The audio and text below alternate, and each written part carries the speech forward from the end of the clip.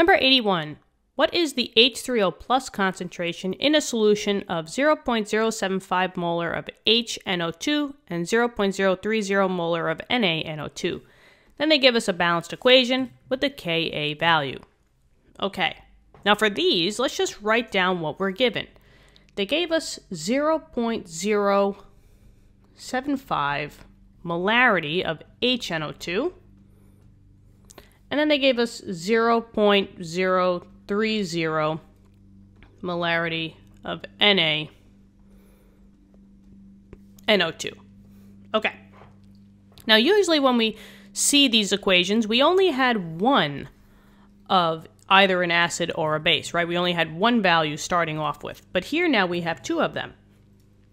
So in this case, we have HNO2, right? And I know that HNO2, there's a H in front of it, so this has to be an acid.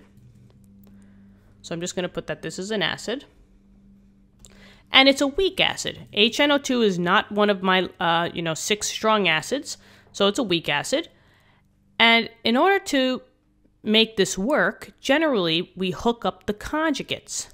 So here I notice that I have NaNO2. Now, I notice that this is a salt because I see that I have a metal here. I see that I have sodium. So this kind of breaks up into two components. I have the Na, and then I have the NO2. Now, in order for this to work, the acid should have a conjugate base, right? Now, which component of the salt is the conjugate base? Keep in mind, that the conjugate base is very similar looking to the acid. So if the acid is HNO2, is the Na the conjugate base or is the NO2 the conjugate base? Yeah, it's the NO2. That's the conjugate base. And we could say that this is a conjugate pair. So we have a conjugate pair and I could basically get rid of the sodium because the thing that I really care about is the NO2. That's the conjugate of HNO2. Now, if you have concentrations of an acid base conjugate pair, which we have, and both of these are weak acids and weak bases, which they are, they're not on my list of six, we have a buffer solution. And when you have a buffer solution, especially if they're asking for acidic components, the easiest way to answer this question is to use the Henderson-Hasselbalch equation.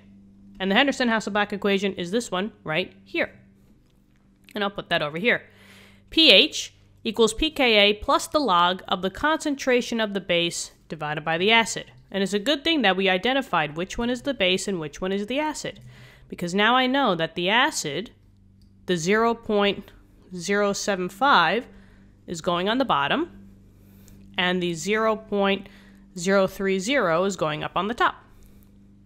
But now I have to either solve for pH or pKa. Now they gave me a Ka value.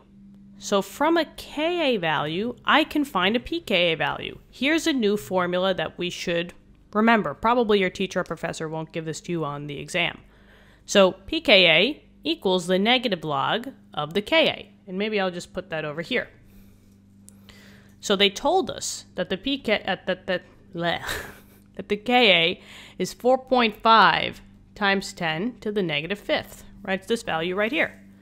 So from there, I could find the the pKa value for this question. All I got to do is negative log of 4.5 times 10 to the negative fifth.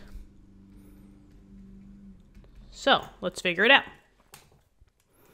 Negative log, 4.5 times 10 to the negative fifth. I get 4 point, let's round it, 3, 5. Right? 4.35, yes. Okay, and this is the number that goes here.